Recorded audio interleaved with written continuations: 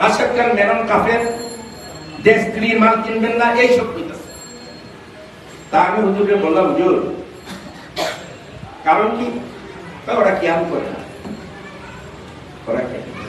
ভালো কথা। জামাতে তো কিয়াম করে না। জামাত ইসলাম তো কিয়াম করে না। করে জামাত ইসলাম কিয়াম করে না। তাহলে আপনি জামাতের কথা বলবেন আর সেই চরমনের হুজুর উনি নির্বাচন করছেন বরিশালে মেয়রের এগেনস্টে ওনার অনুসারী, ওনার কাছে মুড়িদ আছে, আওয়ামী লীগের এরকম।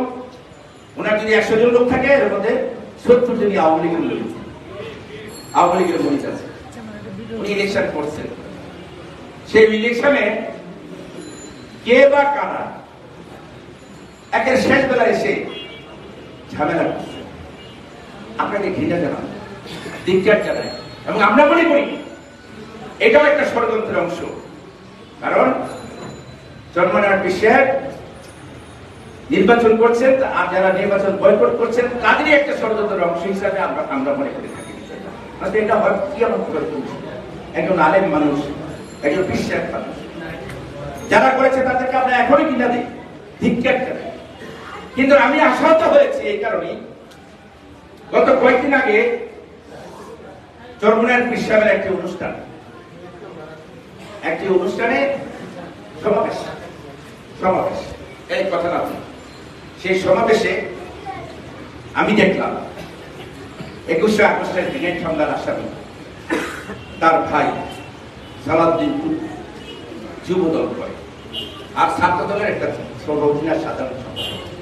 চরমনের বিশ্বের মিটিং এ গিয়ে বক্তব্য দিচ্ছে আমার প্রশ্ন চরমনের বিশ্বের কাছে, আপনি কি সত্যিকার অর্থে ইসলাম মুখে ধারণ করেছেন? আপনি কি মদিনাওয়ালার ইসলাম মুখে ধারণ করেছেন? যদি করে থাকেন, যারা ইহুদি সেটা হাত নিয়েছে তাদেরকে কেমন করে আপনার মঞ্চে বক্তব্য দিলেন আমি জানতে চাই। এটা কোন ধরনের ইসলাম হতে পারে? কারণ বিএনপি জামাত ইহুদিদেরকে সমর্থন দিয়েছে, ইহুদিদের পক্ষে আছে। রাষ্ট্রীয় ক্ষমতার জন্য। আপনি তো রাষ্ট্রীয় ক্ষমতা চান না, আপনার আল্লাহর সান্নিধ্য চান, ইসলামের ডাক দেন, হেদায়তের পথে ডাকেন, তা আপনার মঞ্চে কেমন করে ইহুদিদের যারা সমর্থন দিয়ে থাকে, এবং শুধু ইহুদি নয়, এই বাংলাদেশে যারা একুশে আগস্ট গড়ালেন যারা পঁচাত্তর গড়ালেন যারা দুই হাজার পাঁচ সালে সত্যি আগস্ট সারা বাংলাদেশে শিল্প হামলা চালালেন, সেই সন্ত্রাসী দুই হাজার তেরো, চোদ্দ, পনেরো সাল সারা বাংলাদেশে হরতাল অবরোধ থেকে আগুনে পুড়িয়ে জীবন্ত একশো পঁয়ষট্টি মানুষকে পুড়িয়ে হত্যা করলেন। সেই দলের নেতাদের দিয়ে আটটাই মঞ্চে কেমন করে বক্তব্য রাখালেন? কোন ইসলাম আপনি ধারণ আমি এখনও শ্রদ্ধা করে চরমানা হুজুরকে শ্রদ্ধা করে, ভালোবাসি।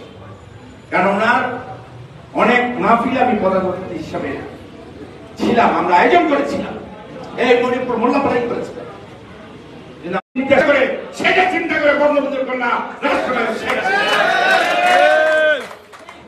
কারণ উনি তো করোনার সময় করোনার সময় সারা পৃথিবী যখন বিধ্বস্ত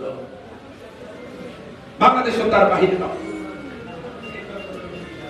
করোনার সময় কি মাদ্রাসা বন্ধ ছিল? মাদ্রাসা বন্ধ ছিল করোনার সময়? স্কুল কলেজ বন্ধ ছিল? স্কুল কলেজ বন্ধ ছিল। কেন তিনি এই মাদ্রাসা খোলা রাখলেন। কি কারণে। বঙ্গবন্ধুর কন্যা ভালো করে জানতেন। মাদ্রাসার কোরআনের পাখি গুলি যদি নিয়মিত কোরআন পাঠ না করে, তাহলে তারা কোরআন ভুলে যাবে। মাদ্রাসার অনেক এতিম ছাত্র আছে, যার বাবা নাই, মা নাই। মাদ্রাসার প্রিন্সিপাল স্যারই তার বাবা, তার মা। ওনাদের সান্নিধ্যে থেকেই সে এতিম মানুষ হবে। সেই এতিমকে যদি মাদ্রাসা থেকে বের করে দেওয়া হয়, কোথায় যাবে, কোথায় থাকবে কোথায় থাকবে এটাই তো মানবতার মা। বঙ্গবন্ধুর কন্যা আজকে আমি গভীর মাদ্রাসার সকল আলেমের কাছে, সকল আলেম সমাজের কাছে আমি অনুরোধ আমি অনুরোধ করতে চাই যে আপনাদের প্রতি বঙ্গবন্ধুর কন্যা যে সম্মান দিয়েছেন এই সম্মান যদি কোনো কারণে ক্ষুণ্ণ হয়ে থাকে, সেটা হয়েছে দুই একজনের নৈতিকতার কারণে অন্য কোনো কারণে। বঙ্গবন্ধুর কন্যা সত্যিকার অর্থেই আপনাদেরকে ভালোবাসে। কাউমি মাদ্রাসাকে ভালোবাসে, সকল মাদ্রাসাকে ভালোবাসে। কিন্তু ওহাবিদেরকে ওহাবিনা কি জানি? মজুদিদেরকে তিনি ভালোবাসেন না। মজুদিন ইসলাম বঙ্গবন্ধুর কন্যার হৃদয়ে নাই। বঙ্গবন্ধুর কন্যার হৃদয় হবে মদিনাওয়ালার ইসলাম। আমরা কি সবাই মিলে মজুদ ইসলামকে ঢুকতে পারি না? কেন আমরা সে কথা হাঁটি না? কেন আমরা জামাত ইসলামকে সমর্থন দিচ্ছি? আর জামাত ইসলামের সঙ্গী সফর সঙ্গী খাওয়ার সঙ্গী, রাতের সঙ্গী সেই খালেদা জিয়ার বাহিনীকে সমর্থন দিচ্ছি?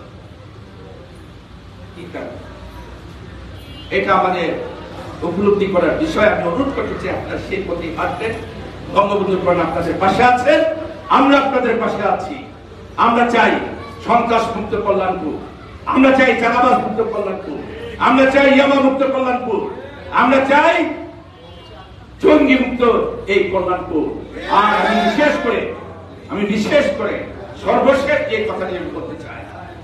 সর্বশেষ যে কথাটি বলতে চাই। বঙ্গবন্ধু কন্যা বলেছেন, তোমরা সৎ পথে চলবা সব কাজ করবা। মানুষের কল্যাণে কাজ করার দিয়ে আল্লাহ রাবুল সন্তুষ্টি একটি সৎ মানুষের শক্তি থাকে কেমন? পাহাড় একটি সৎ মানুষের হাতে যদি একটি স্কুল থাকে, একটি মসজিদ থাকে, একটি মাদ্রাসা থাকে, সেই স্কুল সে মাদ্রাসা, এমনকি যদি একটি মন্দিরও থাকে, সে প্রতিষ্ঠানকে মাথা উঁচু করে দাঁড়ায়, ঠিক না বলে আপনাদের এই যে মসজিদ, কমিটির সভাপতি, এই বডি সৎ, এটাই আজকে মসজিদ কমিটির নেতৃত্বে আজকে বিশাল অট্টালিকা উপর দিকে উঠে চলছে। ঠিক তেমনি ভাবে একটি সৎ মানুষের হাতে যদি একটি নির্বাচনী আসন থাকে, সে আসনের মানুষ ভালো থাকে। ঠিক তেমনি ভাবে একটা রাষ্ট্র যদি একটি সৎ মানুষের হাতে থাকে, সেই রাষ্ট্র মাথা উঁচু করে দাঁড়ায়। তার প্রমাণ বঙ্গবন্ধু কন্যার সততার কারণে বাংলাদেশ আজকে বিশ্বের মানচিত্রে আমি আপনাদের কাছে সেই মানুষের জন্য দোয়া চাই।